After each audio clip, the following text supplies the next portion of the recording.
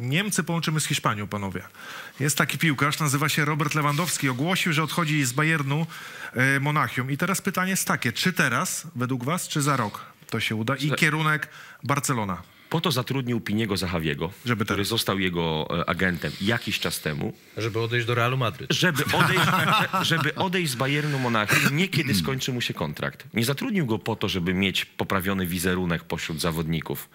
Bo po co Robertowi Lewandowskiemu taki agent jak Pini Zahawi, jeżeli czegoś dla niego konkretnego nie robi, bo jest jego, o co by nie mówić, e, no jednak pracodawcą. Myślę, że w takiej e, konfiguracji to nie Pini Zahawi zarządza lewym, a lewy jednak traktuje Piniego Zahawiego jako człowieka, któremu coś zleca do wykonania. Pini Zahawi jest e, o tyle fenomenem w tym środowisku, że zna wszystkich. Przed nim otwierają się praktycznie wszystkie bramy w każdym klubie.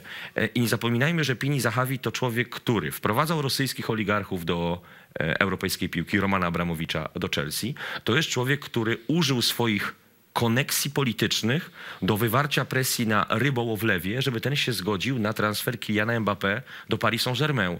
I co zrobił? Zadzwonił do Romana Abramowicza. To jest ciekawą historią, no bo Roman Abramowicz tak naprawdę mógł tego Kyliana Mbappé podkupić do siebie, do Chelsea, ale Chelsea nie była zainteresowana tym zawodnikiem. Więc myślę, że Pini Zahawi jako człowiek, który zna ten rynek i doskonale pewne rzeczy pilotuje, transfer Neymara do Paris Saint-Germain. Jest świetnym się- lobbystą. Jest świetnym lobbystą. To jest ostatnia szansa dla niego, żeby pokazać się przed środowiskiem Roberta Lewandowskiego, że rzeczywiście, mówiąc w cudzysłowie, coś załatwi. To jest Machiavelli. Tak, i teraz, i teraz to, jest, y, to jest istotne, bo to, że coś jest na rzeczy i że Robert Lewandowski y, patrzy na Barcelonę z dużym zainteresowaniem, to już potwierdził swoim kolegom na marcowym zgrupowaniu reprezentacji Słuchajcie, Polski. e, słuchaj- On już słuchajcie, się z tym wtedy nie krył. Zanim, zanim tutaj cały czas jesteśmy w temacie Roberta Lewandowskiego, ale Wiśnia do ciebie prośba, Tymoteusz Puchacz y, nie odbiera, wyciągaj telefon, napisz. Nie, no to dajcie mu chwilę, Hasło, bo on, e, e, bo hasło słuchajcie, Okoń. dajcie mu chwilę, dlatego że on dopiero wstał, potrzebuje tam 5-10 minut, żeby się ogarnąć i dzwońcie do niego za 5 minut. Spokojnie. Do 11. Jeszcze damy radę, bo program mamy do 11. Więc za 5 minut dzwońcie. Darek, ty uważasz, że jeżeli teraz Robert nie odejdzie do Barcelony, to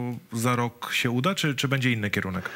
Nie wiem, ja myślę, że sam Robert dokładnie zna na to odpowiedź i władze Bayernu Monachium znają na to odpowiedź. Trochę to wszystko jest taką szopką medialną, to znaczy dużo jest spekulacji, natomiast pieniądze lubią ciszę. Od tego zacznijmy.